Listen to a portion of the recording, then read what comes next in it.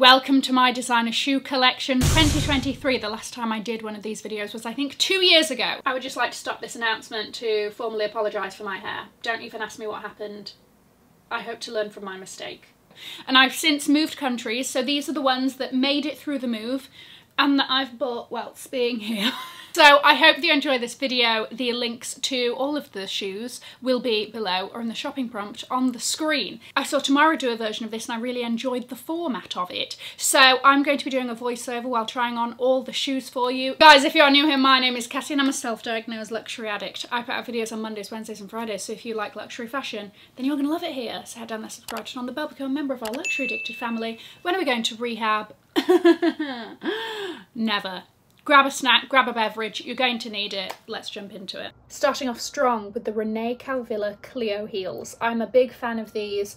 Oh, they just go with everything. They're also perfect for like wedding guest vibes or even bride. Mm. Anyway, these ones have the flared heel, which is a bit different to the normal ones that have the stiletto. They come in so many colours.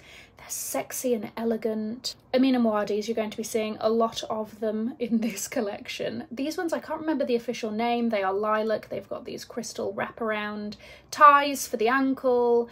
Um, Amina Muaddi's generally very comfortable, sensible heel height. These ones however, are my problematic pair.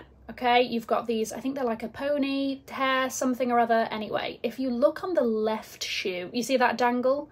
Yeah, well, that's not meant to be there. Those crystals are hanging on for their dear lives. I need to actually get them fixed. These are the Fendi First sandals, and I was shocked with how comfortable these are. Very, very easy. You will last the whole night in these. These obviously have this sort of tri-colour metallic strap situation going on and then you have a sculptural interesting heel. These are the Amina Muaddi Oya sandals. They have a clear PVC strap that goes over the toes to keep you in there and then it's got a crystal toe ring.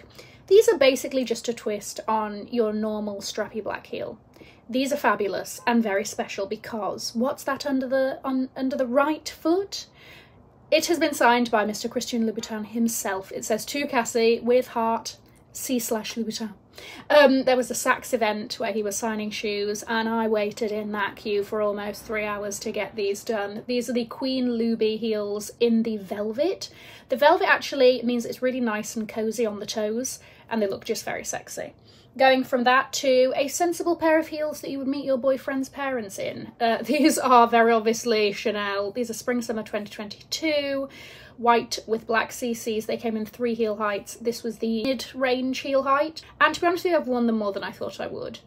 These are new Ferragamo. Oh, she's strappy. Lots of straps across the front and then a skinny little uh, sling back to hold your foot in there. There's something very elegant and sexy about her. These are my sugar daddy heels, okay? These are, she's not paid a cent of rent money in her life. Uh, and there's a time and place for her. You know, she's very Miami. These are by Casadei. These are the Flora heels. These are Aquazzura and on the platforms you've got these pearls and studs. Something very feminine and cute about them. They're also very comfortable and they're velvet. These I got at Bicester for a nice little discount, Bicester Village Outlet in the UK. These are by Gina. And I like that the crystals are monochrome. So the crystals are black, the shoe is black, it still sparkles, but maybe not as sparkly as if they were white crystals. Oh, you know, I love these. These are my Ride or Dies. These are my Prada Flame Heels. I want to say 2018. They are a reissue of a 2012 version. Black patent wedges, green flame details. Oh my gosh, she looks like she's wearing Hot Wheels on her feet. Vroom vroom, she is off, right? I mean, she's looking fabulous. My newest uh, pair of shoes to the family, these are Sergio Rossi acrylic wedges. You've got a green satin mule and then the wedge is a lucite with a bit of green fading into it. She's very juicy, she's giving spring summer. I love these. Tom Ford wedges with like this weird cutout and, you know, metallic thing happening at the back. Decided to go for them in purple. They did come in other colours, but I don't really have any shoes this colour, so I thought, why not? Oddly comfortable considering that they are, you know, th there's an arch there, they're quite high. Love these, very much a statement. Okay, not necessarily luxury, but these are Castañer wedges. And if you want a wedge that you can last all day in, and these are the most comfortable wedges like ever, 10 out of 10, look at these. D'Accori Lust Mules. She's Eva Longoria in Desperate Housewives. She is elegant and sassy and she means business and I love them and they're in these green metallic. These are the Amina Muaddi Lupita mules in green crystals. Obviously I love crystals, obviously I love green. And they're cute and fun. Oh, these are my Cinderella shoes. Okay, these are the Dolly Mules by Louboutin and they come in lilac crystals, which is obviously what I went for here. I actually went a half a size bigger in these, so keep that in mind. They are a little pinchy on the toes, but they do look great. These are the D'Accori Sienna platform mules. Oh my gosh, I am obsessed with the heel on this because it's got this crystal ring in the middle of the heel. Oh, love it. Platforms, this saturated blue, she's fun.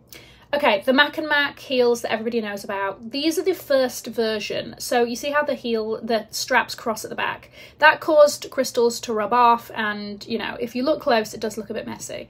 The new versions of this, they've changed so that the straps don't cross at the back so you don't have that problem. Um, so if you buy them now, you, you shouldn't have that issue. But they do look great, they're fabulous. These are a pair of Louboutins that I got at a Louboutin sample sale when I tried this on for this video, I remembered why I hardly ever wear these, and that is because they are insanely painful. That PVC is digging into your foot, let me tell you. You've got this sort of smattering of crystals at the toe. She's fabulous, but she hurts. On the PVC train, these are the Amina Muaddi Begum heels in pink PVC. She is serving very much Barbie core. She is Margot Robbie in the Barbie movie. These are the same pretty much, but in a grey smoke. And this was a collaboration between Amina Muaddi and ASAP Rocky's like creative something or other, AWGE. Anyway, it's got this spiky little butterfly on it. Then you've got the classic Amina Muaddis in this sort of tan, um, suede, really comfortable, really easy, goes with a lot. And still on Amina Muaddi, the Gilda Mules in blue glitter. They these I really like with um, jeans actually because she just gives a little bit of a little bit of unexpected sparkle. Manolo Blahnik Hangisis. This is basically on everybody's designer shoe bingo card. These are very Elle Woods appropriate. I could see her getting married in these. Maybe she did at the end of the second film and I've simply forgotten. But these are very much her, I mean, a classic for a reason. Okay, these are the Fendi cutout pumps. They look great. They've got a lovely little snout on them. I love the cutout in the heel. They actually aren't that comfortable, but I did put a gel insert at the ball of the foot and that's helped things a lot. So I can last a lot longer in them than I, than I did, but they're so fabulous. Okay, these get me every time because they are so underrated. These are the Attico Venus heels. You've got this tie up the ankle. These are obviously an orange crystal. There's something about this that gives me like 1950s pin-up or like Dita Von Teese vibes and I love them. They are extremely comfortable and very underrated. These are Gucci platforms. I love them. They've got a little tiger head on the front. They've got a spiky little detail up the front of the shoe.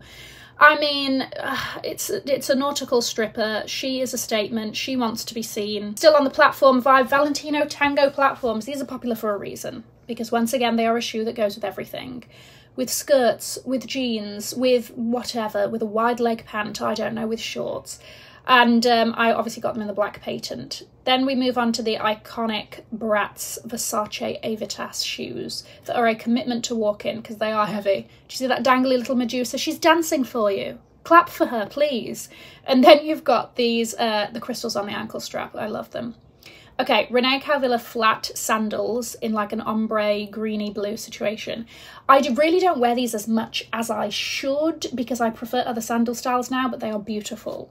I am an Oran girl, okay? As basic as it is, I get it. They're easy, they look good, like they come in so many colours. These are goat skin, I believe, and silver metallic. They're very comfortable.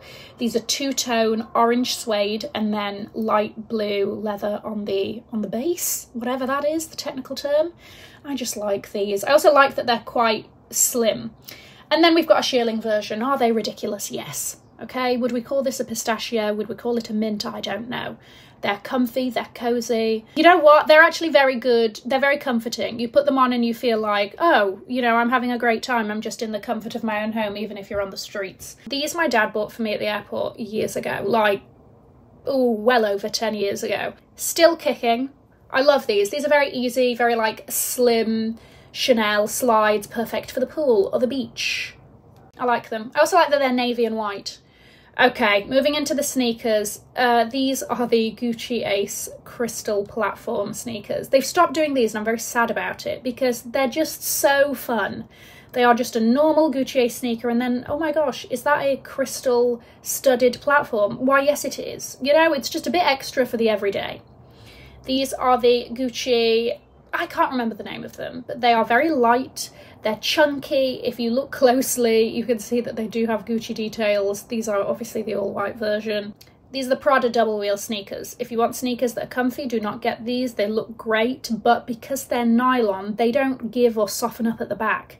So that thing is digging into the back of your foot and they will never improve. So you've either got to put one of those like gel inserts or hope for the best. These are Chanel trainers and they're great. Very light, very comfortable, go with a lot, easy to run around in. They're a sort of like runnery style. They have done these in newer colours since this. I think this was the first time they came out, and I love them. Can't say any any more good things about them. For these, they now do where there's on the back of the foot, it's a shat on one foot and a nail on the other. I don't know why they've done that. I much prefer how they did it for this version. White and blue, designer Air Force Ones. Oh, you know I love her. These are the Dior B27s from the men's collection. They don't do this colourway anymore. Mine look like they need some TLC. I really should invest in that so they can last me a bit longer because I'm obsessed with these. They're comfortable, they go with everything, they're easy. These are actually sort of the women's version of those shoes. These are the Dior 1 sneakers. Um, white, white oblique, and then you've got these little gold details all over the shoe. My issue here is, is that these are constructed much more robustly than the other ones in a way that like you really need to break these in for these to be comfortable whereas the B27s are just comfy straight off the bat. These are the Amiri MA1 sneakers, and they're just a sort of neutral platform sneaker. Very comfy, love these. I prefer wearing these when I have maybe like a trouser that needs a bit of length. They go with so much, easy to run around in, would recommend. Okay, again, another very comfortable sneaker, especially if you're somewhere like New York and you need to be, and you'll be walking a lot. The off-white out of office sneaker, she's going to stand by you. She's a ride or die, comes in lots of variations, love. The Celine CT01 high tops.